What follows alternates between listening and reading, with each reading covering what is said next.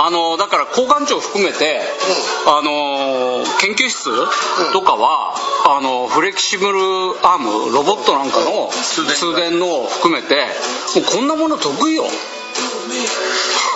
もうバッチリよ。どうせ八さんに鉄入れたよ違う違う。みんな研究してんの。本当。あのシリンジ注射器あるでしょ、のコンマいくつの針につけて、もっとこの通電材料を薄めてであの回路作ったりどうのこうのって相談。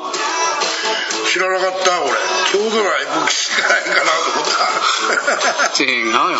ちゃんと白衣着てる女性の方も含めて。ほら。そうよ知らんかったすげえな。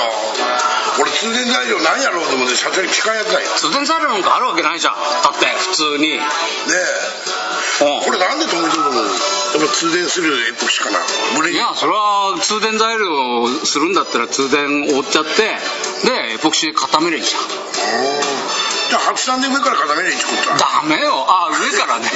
上からいやだからそれ接触してさ通電材料入れるんだったら通電材料で入れて入れ方押せるよ。あでもあれ見た方がいいよ。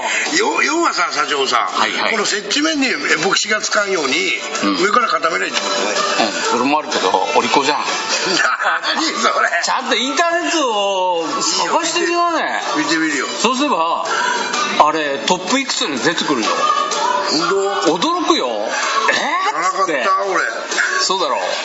あううちの僕のだって上司だって驚いてたもん。あ通電できるんか。違う違う違う。目から鱗だって。そう。本当だよ。ないもんな探したんだけどさ。よく考えたねって。いやよく考えたね。つうか皮肉つうかさ。あ知らない知らね新宿の東急ハンズ、ね発泡スチロールのあのラーメンのカップ皿があるでしょ、あの発泡スチロールのカップラーメンの。あれに若い女の子がクリスマスツリーを描いたりいろいろするらしいよ